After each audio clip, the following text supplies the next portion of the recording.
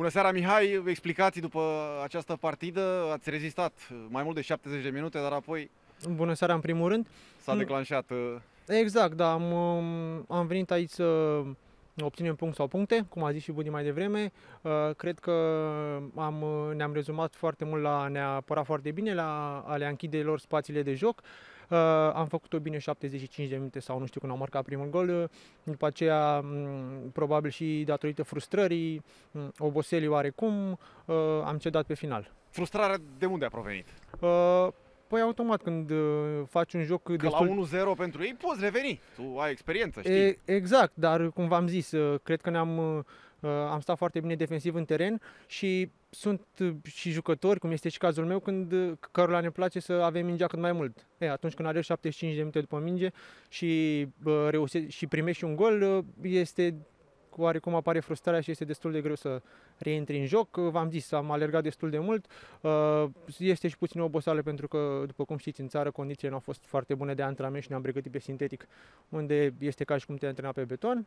Dar uh, v-am zis, cred că 75 de minute am încercat să, să le, le limităm uh, spațiile de joc lor. Uh, Ne-a ieșit acest lucru, dar din păcate pe final n-am, uh, n-am putut să mai fim la fel de concentrați și proaspeți pentru a menține ritmul acela. Cum spuneam, tu ești un jucător cu mare experiență. Crezi că a contat și faptul că ei s-au pregătit la alte temperaturi, pe alte terenuri, Nu știu cât, pentru o perioadă în asta precompetițională? Nu știu cât de mult a contat. E adevărat că e avantajat pentru că au avut condiții bune de pregătire, uh, au putut să-și facă antrenamentele pe care și le-au dorit și și le-au propus, uh, pe, bazate pe sistemul lor de joc, uh, ofensiv, cum l-ați văzut și dumneavoastră, uh, dar nu avem ce să facem. Condițiile au fost uh, acestea pentru noi, le-am uh, am respectat uh, uh, legile, să zic așa, din câte am înțeles, nu puteam să plecăm din țară. Și nu le-au respectat? Uh, nu știu, probabil că le-au respectat din moment ce nu N-au au puținit. primit nicio sancțiune, înseamnă că au procedat corect. Felicitări și v-am zis, uh, ne pare rău că ne-am, uh, ne-am rezumat să ne apărăm așa de mult și n-am reușit să obținem mai mult.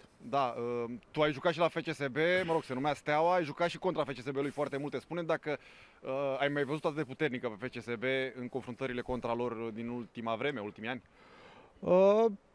Uh, t- este o echipă puternică anul acesta.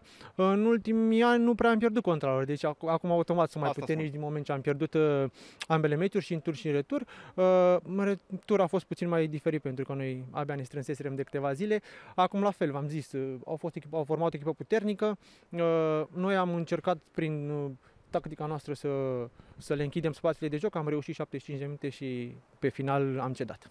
Crezi că veți prinde play-off-ul? Că dacă ați fi bătut astăzi, Mhm. să spunem, da, ne jucăm cu imaginație, erați aproape de zona play-off. Mm, Este destul de greu să- de vorbit acum. Știm că am început foarte rău campionatul, uh, ne-am revenit pe finalul turului, acum iar am început cu o, cu o înfrângere. Mm, Trebuie să luăm meci cu meci, să fim, uh, să lăsăm capul jos, cum se zice în România, și să muncim mai mult, să încercăm să luăm fiecare meci în parte să obținem victorii.